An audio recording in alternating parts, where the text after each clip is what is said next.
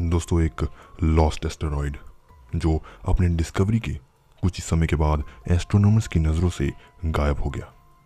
जब एस्ट्रोनॉमर्स के रडार ने इसे फिर डिटेक्ट किया तो इसकी ऑर्बिट को स्टडी करके पता चला कि एस्ट्रॉयड बहुत जल्द हमारी पृथ्वी के लिए शायद खतरा बनने वाला है।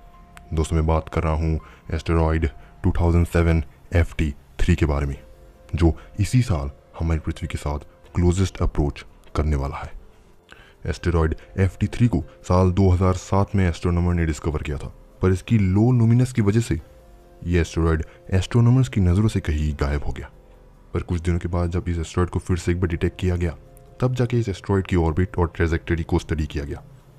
जिससे हमें पता चला कि एस्टेरॉयड हमारी सूरज की परिक्रमा तकरीबन चार दिनों में कंप्लीट करता है, और इसी परिक्रमा के दौरान ये एस्टेरॉयड साल 2024 के 5 अक्टूबर को हमारी पृथ्वी के करीब आने वाला है।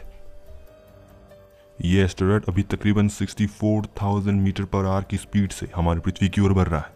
ये एस्ट्रॉयड का डायमीटर तकरीबन 300 मीटर्स कैलकुलेट किया गया है।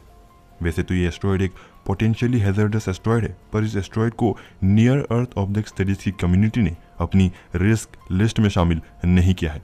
ये बस उन्हीं एस्ट्रॉयड को शामिल करते हैं जिनकी फ्यूचर में हमारी पृथ्वी से टकराने की एक हाईली पॉसिबिलिटी होती है।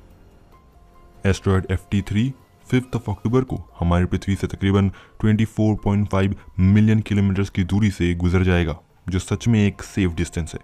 पर यह एस्ट्रॉयड फिर से एक बार सिर्फ़ छः सालों के बाद ही हमारी पृथ्वी को दस्तक देने वाला है। यानी कि साल 2030 में यह एस्ट्रॉयड फिर से एक बार हमारी पृथ्वी के साथ क्लोज अप्रोच करेगा। पर तब भी हमारी पृथ्वी और इस एस्ट्रॉयड की वो दूरी वितनी नहीं होगी, जितनी एक एस्ट्रॉयड को हमारी पृथ्वी से टकराने के लिए होनी चाहिए। यानी कि इस एस्ट्रॉयड से हमारी पृथ्वी को नियर फ्यूचर में कोई भी खतरा नहीं है।